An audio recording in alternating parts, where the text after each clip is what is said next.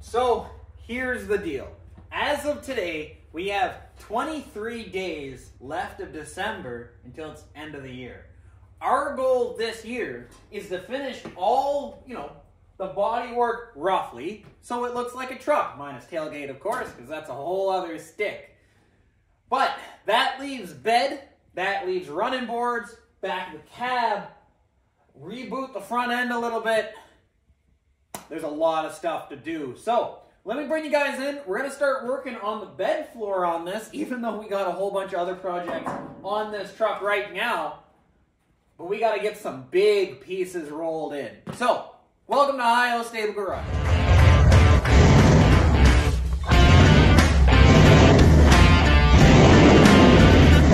One sheet of 16 gauge there, a sheet of 16 gauge there, which I'll get into in a second, and a sheet of 18 gauge. 4x8 satin coats, or at least uh, the 18 gauge used to be a 4x8, kind of pillaged off of it, you know.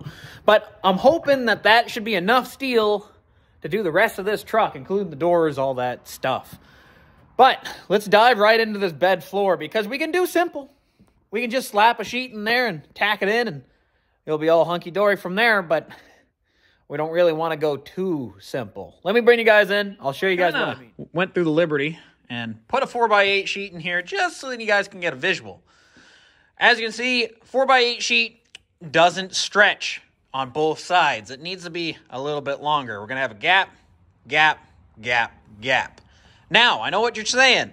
Cut the sheet, do your length, do your length, do your length. Here's the problem. When you're working on a budget build, and you can tell it's a budget build because we got pieces of bedside and stuff like that in that corner right there and all over it. Steel was steel when we started. And steel is still steel, and steel is friggin' expensive. Two 16 gauge 4x8 satin coat sheets, pretty near 400 bucks. So, we need the second sheet to do our running boards, and those are long. So we need the length side on this sheet to a degree to do top and bottom running board. So we kind of have to, you know, piece in the little gaps on that. Not ideal, but it is so what it is. That roughly leaves us with four feet there, and, you know, it's going to be kind of like six feet or whatever the bed turns out to be. But we're going to add a little bit of, I don't know what you would call it, bends, I guess, into that, because otherwise, if I just welded from there to there, made a panel, made a panel, made a panel over our arch, you're likely going to be going down the road and you'll hear the floppy floppy all the way in. You kind of like, you know, like a, almost like a drum, like a snare drum. So we're going to add a little bit of rigidity in through there. And all what the top floor is going to be just basically hot tacked on top of it. Not a big deal. So when we bend it up, it is going to squish this guy in a little bit. This is kind of how it is.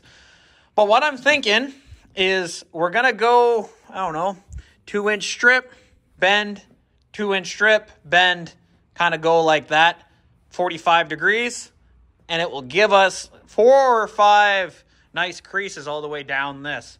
Then we'll weld from here to there, there to there, make two panels, and then we just got to make our arch piece, kind of make it off that. That's kind of what I got going on, at least in my head on how we're going to do it. But in order to do that, we can't do this sheet here. It's too big to bend manually down the center. So, off to the shop we go. Right. Let's so, let's reverse that a little bit. We're going to use our two good sheets, but I don't really want to use them for just a bed floor. That's going to get dinged up and stuff like that. Here's the Higho Stable Garage. Kind of keeping with the theme there on how we did this truck.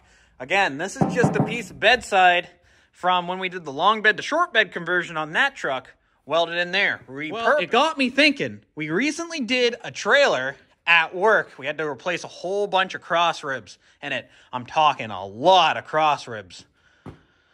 Well, this is one of them. As you can see, it's rotten there at the bottom. Don't mind that. But if I put them right down the center, that's kind of what we got. And I know what you're saying, Colt, that's not that's not going to make a bed.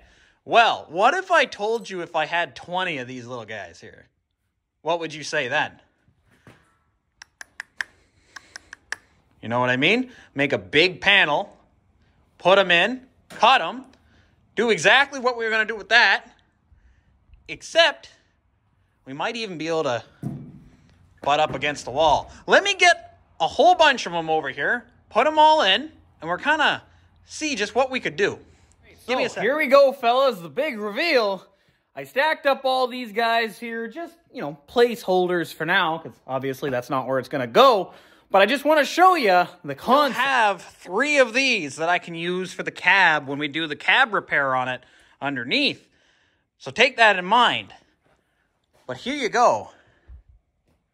That's what them all stacked up. Obviously, we will be doing butt weld down the center. And that's basically the trade-off. We're going to save money because it's a 175 plus tax for one sheet, a 16 gauge.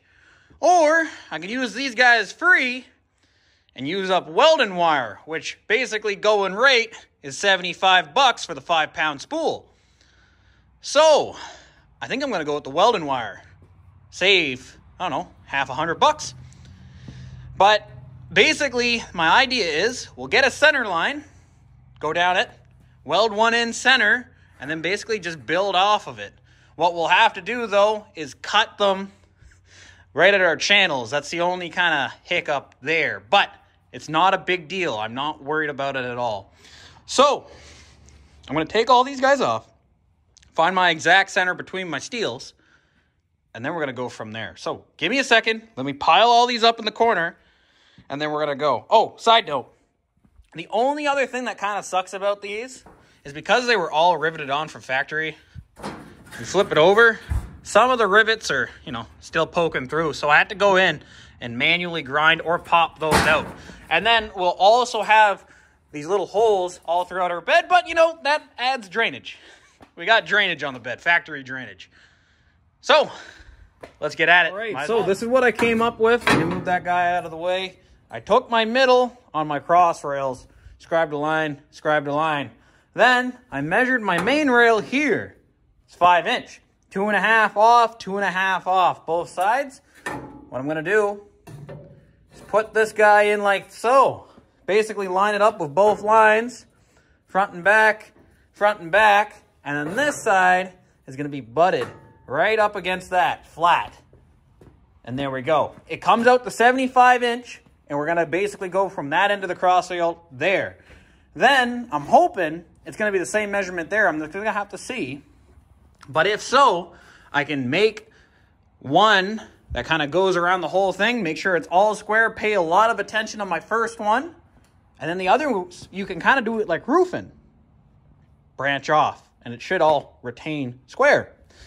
That's the plan. We're going to try it out.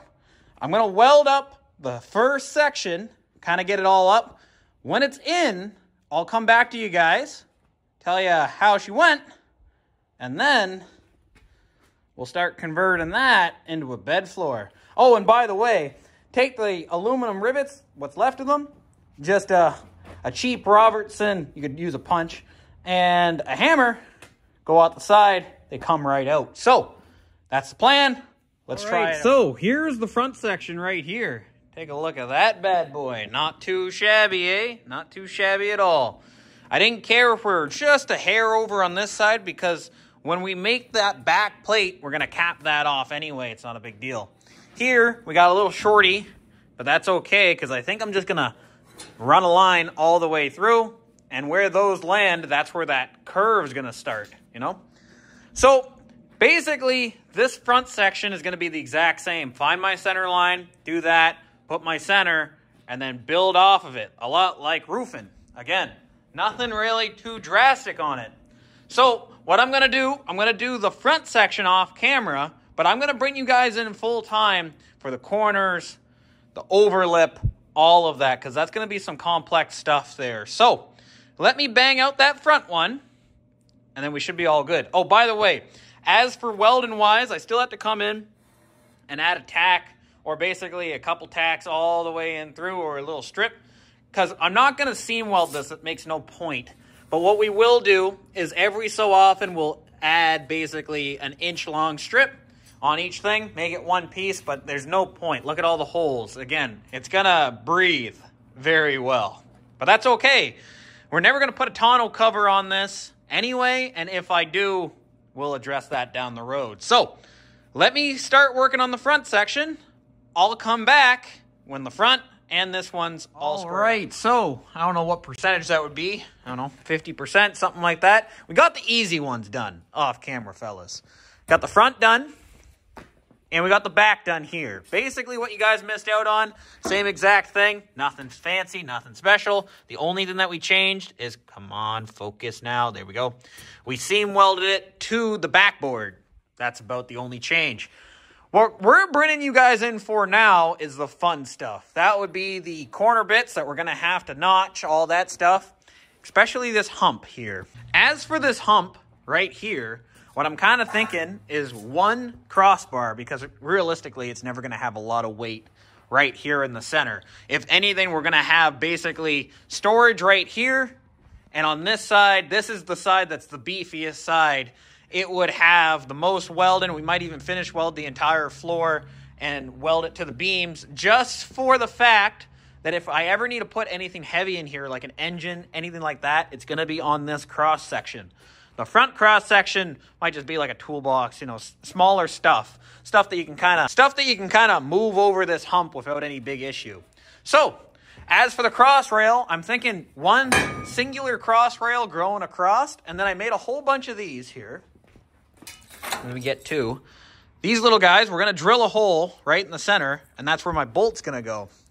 And basically the premise is, let's see, how do I math? Yeah, something like that. It'll go like that, and then on the other side, I'll cross it. So one will be like this, the other will be like that. And then on frame side, same thing. I'll weld one to the frame, same thing on the other side, weld one to the frame. Drill them, then I can bolt that guy down. Then I can build my arch, but I have to have this guy bolted down first. Side note, we were smart on this one and I stopped one extra so I could cut my welds here and break the bed off once this is kind of solidified onto this. I wasn't too smart on this one. Even though there's only one cross rail that's actually on the frame, the other one is just kind of, you know, out in free space. Not a big deal. But this cross rail here, it is tacked under this. I wasn't really thinking about that. So I'm going to have to break those off off camera. But what we're going to do, we're to weld these suckers on just like so. Bingo, bango. Drill them, put a bolt through. Once that's nice and tight, I can continue on with the floor. So I'm just to quickly weld these on off camera because I'm pretty much just to show you guys the floor. These are really, really simple stuff, guys. You don't want to see that. So let me put those on real quick. I'll be right back with the floor. We got the bed cross rail all bolted down. I ended up doing the captive nut on the top. I welded the nut to it. So that way we can basically just put an impact or something on the bottom, zing them out. We're basically, they're small bolts, yes, but again, this is not a super serviceable bed. And we're also to have, I believe it's eight, eight total. Yeah. We're to have eight mounting points for this little tiny bed. It's to be fine with these little guys. But now we have a surface that we can mount our pieces to. So what I'm to do now is cut pieces, basically, so they'll span maybe just a little bit past this guy right here on both sides. Then that right there, we can do the angles after. So let me measure that up and then we're gonna start welding down, making sure they're all squared up. Bingo bango.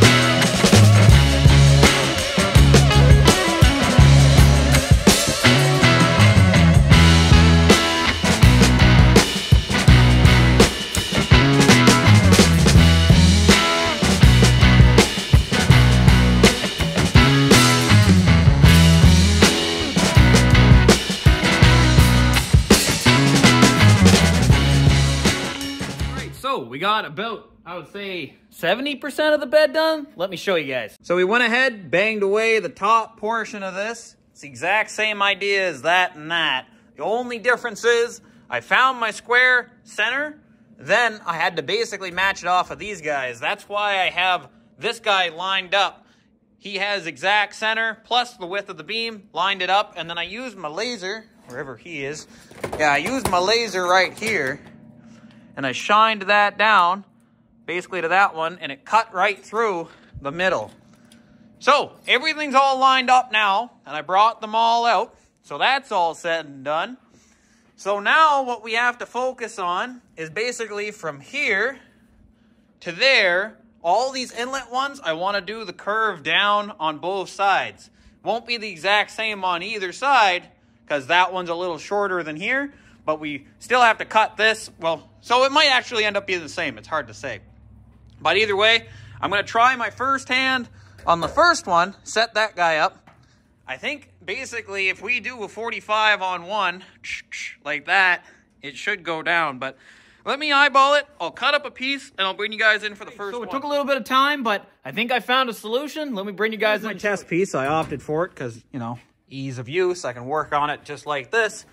What I ended up doing is two 45s. 45 here inverted, 45 here inverted from that one. Two separate 45s, but same plane, 45, right? Then, where is it? Right here. Guy was camouflaged like that. Right here, I got the marking on it. It's 9 and 5 eighths long, simple straight cut. Now, I know what you guys are going to say because you can likely already figure out what's going on. Why didn't you do the 45s there onto this? I'll tell you that right now, nice and easy. I couldn't figure it out. For some reason, my brain wasn't working on it. I have one piece, two piece, three piece, all test pieces. I couldn't get it to work because here's my other 45 one right here. As you can see, these were originally straight cut. What ended up working for me is 45 and these guys and doing the straight cut on my one piece. Kind of makes it interesting with the angle grinder getting in here, but it is what it is. So, basically this piece now will come in just like so. And the fitment's pretty good. All we have to do, we'll do a butt weld on this. And then here, we got to do a little bit of weld and then maybe a little bit of hammer action or just, just cut it off, weld it up, that overlip. But it's not bad at all. And that's one out of, I think it's total of 22 that we need for all the pieces that are currently on it. So a little bit of work, but that's what I got going on. I'm pretty sure that's what I'm going to go with, but let's start welding them in. I got a lot to cut, and then I got to modify this bed.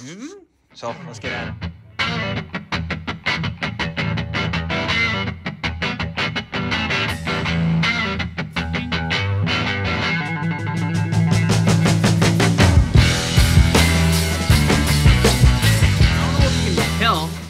Looking at me. I'm not a mathematician. Geometry, you know, isn't the strong suit. But as you can see, we got the curve going and it follows the lines. So let me show Here's you. Here's a little look from the back.